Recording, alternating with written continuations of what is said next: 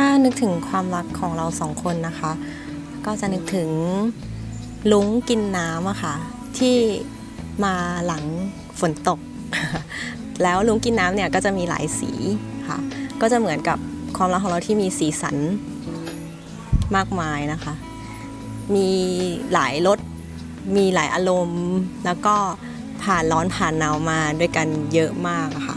ก็คือก่อนที่ฝนจะตกมันก็ต้องร้อนก่อนใช่ไหมคะ สิบกว่าปีแล้ว รู้จักกันดีทุกแง่ทุกมุมของเขาอะค่ะแล้วเขาก็เอ่อเป็นคนที่น่ารัก ก็อยากจะขอบคุณเขาที่อยู่เคียงข้างกันเสมอไม่ว่าจะเกิดอะไรขึ้น แล้วก็เป็นกำลังใจให้กันตลอดแบบนี้ตลอดไป ถ้าผมเปรียบความรักของเรานะครับ ผมก็คงเปรียบเหมือนกับช็อกโกแลตครับ ที่มันมีทั้งหวานและขม แต่ไม่ว่ายังไงเนี่ย เราก็ยังอยากจะดื่มด่ำกับรสชาติของมันพอเจอกันครั้งแรกที่งานรับน้องของมหาวิทยาลัยกรุงเทพหลังจากนั้นก็ได้คบกันเป็นเพื่อนกันมา 2 ปี แล้วก็ได้ตกลงเป็นแฟนกัน จากวันนั้นถึงวันนี้เนี่ยก็เป็นเวลา 12 ปีแล้วครับ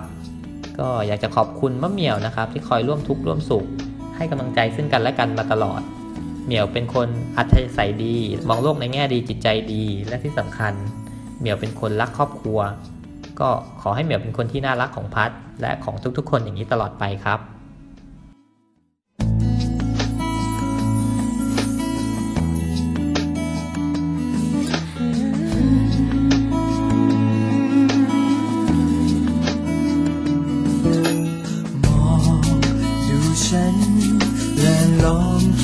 ถึงวันที่เราพบกัน วันนั้น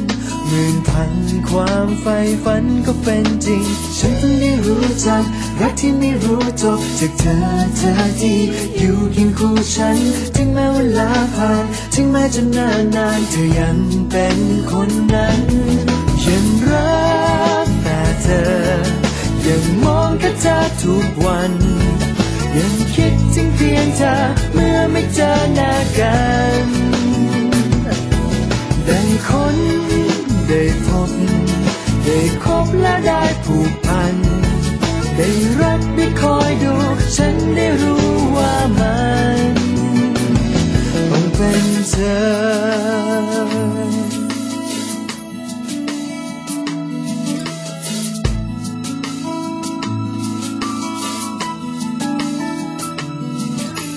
เคยทะเลาะ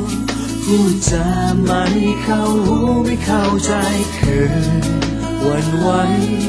กับวันที่ใครต่อใครได้เข้ามา แต่ฉันก็ได้พิสูจน์ว่าเธอนั้นคือที่สุด ไม่มองไม่ต้องการไปกว่านี้ และไม่ว่าเมื่อไร ทุกเรื่องร้อนเพียงใดกี่เดือนกี่สิบปี ก็จะรักแต่เธอ จะมองแค่เธอทุกวัน จะคิดถึงเพียงเธอเมื่อไม่เจอหน้ากัน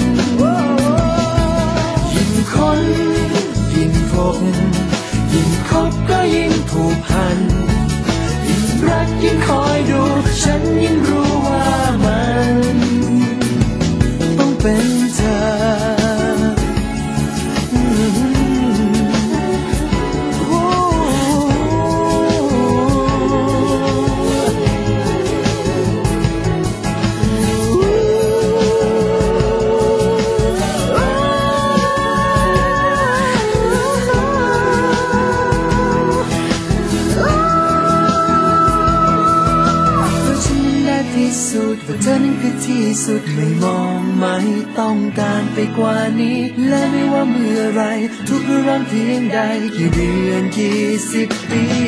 ก็จะรักแต่เธอ จะทำเพื่อเธอทุกวัน จะคิดถึงเพียงเธอ